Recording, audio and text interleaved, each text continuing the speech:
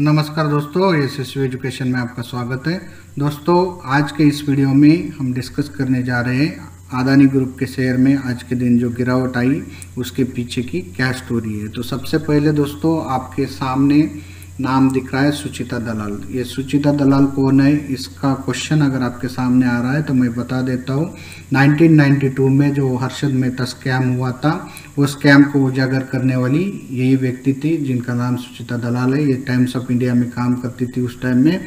और अगर आपको जानकारी नहीं है तो इसके ऊपर गूगल करके देख सकते हैं।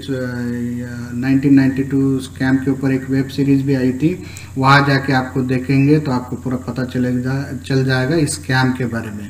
तो मैं इनके बारे में क्यों बता रहा हूँ? क्योंकि यहाँ पे इन्होंने ट्वेल्थ जून को एक ट्वीट किया और ये ट्वीट से यहाँ पे शुरुआत हुई है। तो उन्होंने बिना किसी का नाम लेते हुए ये कहा है कि सेबी के पास एक ट्रैकिंग है और एक रिसेंट जो ऑपरेटर है पास्ट में, वो वापस आया है और वो वन पर्टिकुलर ग्रुप के प्राइसेस को बढ़ा रहा है।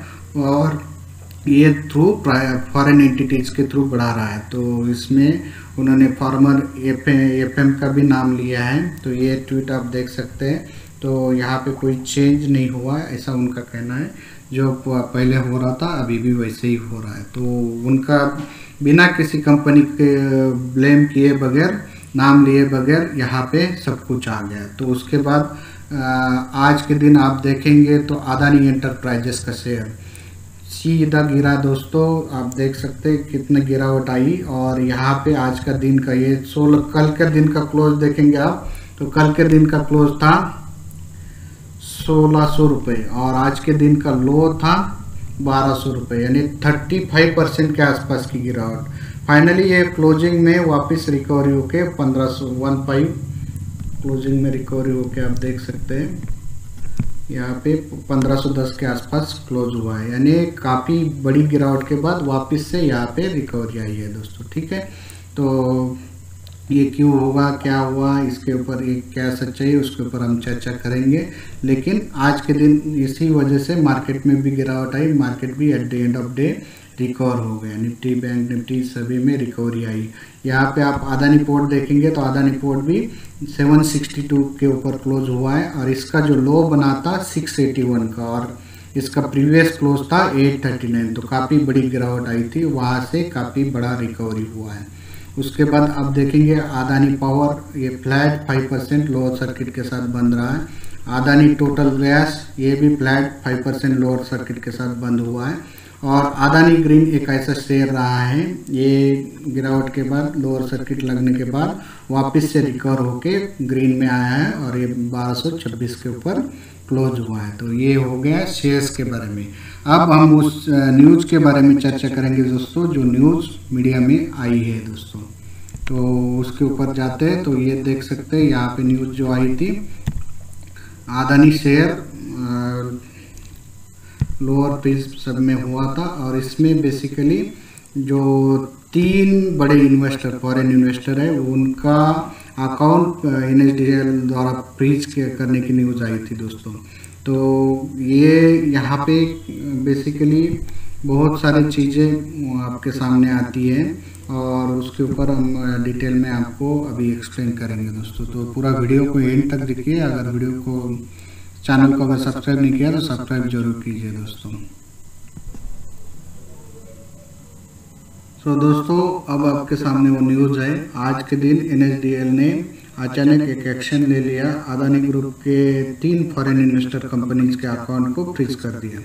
ये तीन कंपनीज़ तीन फॉरेन कंपनीज़ का नाम आप देखेंगे तो नाम है Albula Investment Fund Cresta Fund and A investment fund ये तीन कंपनी ने total forty three thousand five hundred crore crore के शेयर्स अदानी ग्रुप के बाई किए थे। उसमें Adani Enterprises Adani Green Energy Adani Transmission Adani Total Gas so इनके accounts freeze किए गए हैं।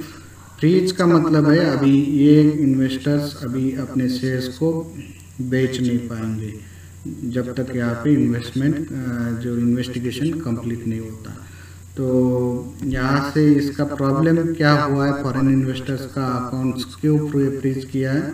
तो यहाँ पे जब भी फॉरेन इन्वेस्टर्स अकाउंट ओपन करते हैं तो उसका कंप्लायंस देखा जाता है। और यहाँ पे जो कंप्लायंस के कुछ वायलेशन ये तीन कंपनी में देखे गए हैं। जब इन्वेस्टिगेशन जो डॉक्यूमेंटेशन डिस्क्लोज करते हैं कंपनी इन्वेस्टिगेशन में। जब उसमें सबसे पहली बात है कि इनके डॉक्यूमेंटेशन में रेगुलेटरी वायलेशन देखा गया है। उसमें सबसे पहली बात, तीनों कंपनीज़ का एड्रेस सेम है, तीनों कंपनीज़ का रजिस्टर्ड एड्रेस सेम है, तीनों कंपनीज़ एक ही सिटी में हैं। तो और कंपनीज़ रजिस्टर है पोर्ट लुइस में कैपिटल सिटी ऑफ़ मॉरिशस और इनका जो होल्डिंग है जिसमें आप जैसे बता दूँ तो अदानी एंटरप्राइजेस में 6.82 परसेंट का होल्डिंग है टोटल मिला के।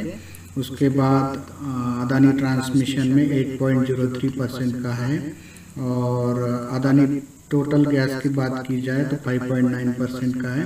और अदानी ग्रीन एनर्जी की बात की जाए तो 3.58 परसेंट की है। तो ये जब एन एच का एक्शन आया, तभी यहाँ पे इसका जो अदानी ग्रुप के शेयर्स में गिरावट आई दोस्तों। तो अब यहाँ पे इन्वेस्टर्स को क्या करना चाहिए, एग्जिट करना चाहिए? तो दोस्तों, यहाँ पे रिकवरी हुई है। ये बड़ा ग्रुप है, छोटा ग्रुप नहीं है। और प्राइसेस, आप देखते ही है, प्राइसेस में बहुत ज़बरदस्त राइज पिछले एक साल में देखा गया है और उसमें देखेंगे तो 900 परसेंट के आसपास पिछले एक साल में आदानी इंटरप्राइजेस का शेयर्स में मूवमेंट आया है दोस्तों। और उसके बाद बात की जाए अदानी ट्रांसमिशन की तो उसमें लगभग 670 परसेंट के आसपास की मूवमेंट देखने को मिली है। अदानी टोटल गैस में 350 परसेंट के आसपास। और अदानी ग्रीन एनर्जी में 254 परसेंट के आसपास, अदानी पोर्ट में 147 परसेंट के आसपास और अदानी पावर में 295 परसेंट के आसपास। तो ये बहुत ज़बरदस्त राइज है। तो इसमें आफ्टर शेयर प्राइस मैनिपुलेशन का सस्पेक्ट है और यहाँ से भी भी इन्वेस्टिगेशन करेगा, ऐसा न्यूज़ आ रहा है दोस्तों। तो यहाँ पे आपको थोड़ा सा केयरफुल रहना ज़रूरी है। भले ही बड़ा ग्रुप है और कुछ हो ना हो, आपको यहाँ पे सावधानी बरतना ज़रूरी है दोस्तों। और दूसरी बात की जाए तो जैसा शेयर प्राइसेस का मैनिपुलेशन होता है तो वहाँ पे आपको हमेशा सावधानी बरतना है। तो यहाँ पे आप देख सकते हैं, अदानी ग्रुप के एंटरप्राइजेस अदानी एंटरप्राइजेस का शेयर में जितना राइज हुआ है, अदानी टोटल गैस में राइज हुआ है।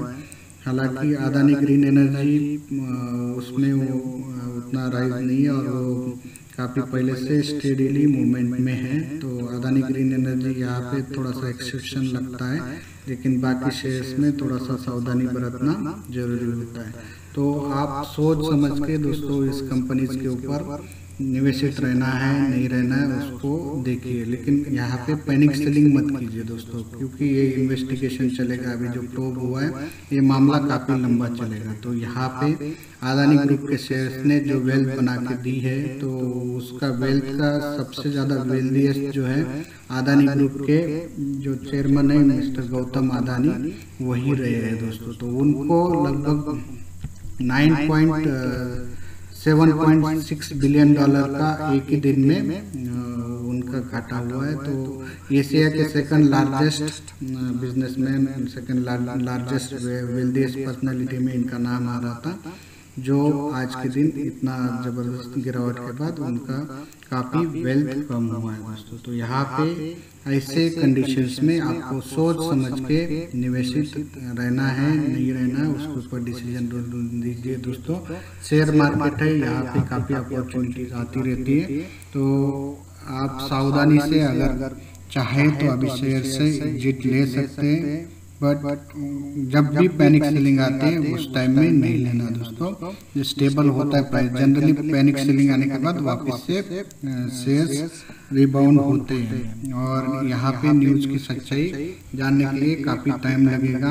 और अदानी ग्रुप की तरफ़ से एक ऑफिशियल अनाउंसमेंट आया और उन्होंने उस न्यूज़ को ही फॉल्स बताया दोस्तों। तो ये मामला इस न्यूज़ को फॉल्स बताया इसीलिए सभी शेयर्स में वापस से मूवमेंट आई। है जैसा अदानी ग्रीन वापस से पॉजिटिव टेरिटरी में आ गया। है और बाकी शेयर भी लोअर लेवल से काफ़ी ऊपर तक आया हैं। तो इसलिए आपको यहाँ पे इस मामले की तय तक इन्वेस्टिगेशन होने के लिए काफ़ी लंबा समय लगेगा। तो इन ग्रुप के शेयर्स में अभी आपको सावधानी बरतना ज़रूरी है दोस्तों। इसी के साथ मैं इस वीडियो को ये समाप्त करता हूँ दोस्तों। वीडियो अगर अच्छा लगा तो लाइक ज़रूर कीजिए कमेंट सेक्शन में लिखिए और धन्यवाद दोस्तों। फिर मिलेंगे एक नए वीडियो के साथ।